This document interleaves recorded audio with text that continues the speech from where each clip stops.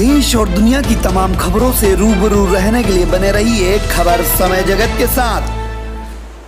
कायदा में राष्ट्रीय युवा हिंदू वाहिनी द्वारा कांवड़ यात्रियों को पूरे श्रावण मास में भोजन कराया गया और समापन के मौके पर कन्या भोज का कार्यक्रम रखा गया। इस मौके पर श्रीमती आशा जाट, हिंदू युवा वाहिनी के जिला अध्यक्ष नूतन गिरी गोस्वामी तराना एसडीओपी रविंद्र सर थाना प्रभारी माधव सिंह, एसआई हिम्मत सिंह मेवाड़ा समस्त कायदा पुलिस स्टाफ, राष्ट्रीय युवा हिंदू वाहिनी के कार्यकर्ता बंशीधर मेहता सहित सैकड़ों लोग इस कार्यक्रम में शामिल हुए।